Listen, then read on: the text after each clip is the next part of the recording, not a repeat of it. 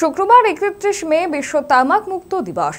উনিশশো সাল থেকে দিনটি পালিত হয়ে আসছে। চলতি বছর দিবসটির প্রতিবাদ্য হল protecting childrens from tobacco industry interference, অর্থাৎ তামাক কোম্পানির হস্তক্ষেপ প্রতিহত করি, শিশুদের সুরক্ষা নিশ্চিত করি।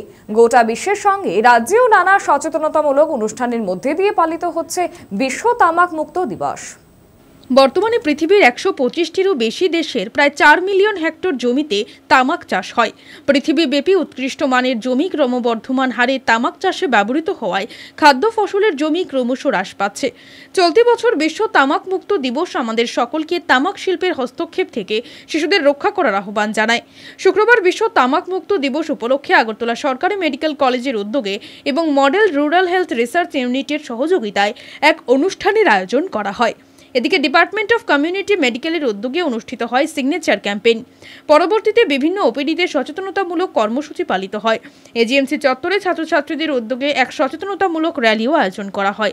পাশাপাশি এজিএমসি টিচার্স ফোরামের পক্ষ থেকে এক সচেতনতামূলক আলোচনার আয়োজন করা হয়। এখানে বক্তারা তামাকের কুপ্রভাব সম্পর্কে আলোচনা করেন। পাশাপাশি তামাক বর্জন সংক্রান্ত শপথ বাক্য পাঠ করা হয়। গোটা কর্মসূচি সম্পর্কে বিস্তারিত জানান এজিএমসি টিচার্স ফোরামের সম্পাদক।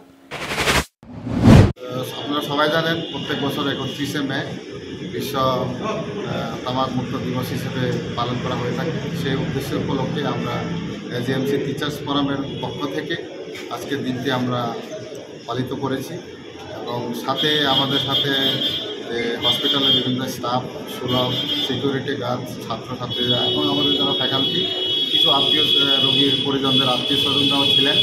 সেটা আমরা সচেতনতামূলক আমরা কিছু আলোচনা করেছি। Bureau report Agartala TV.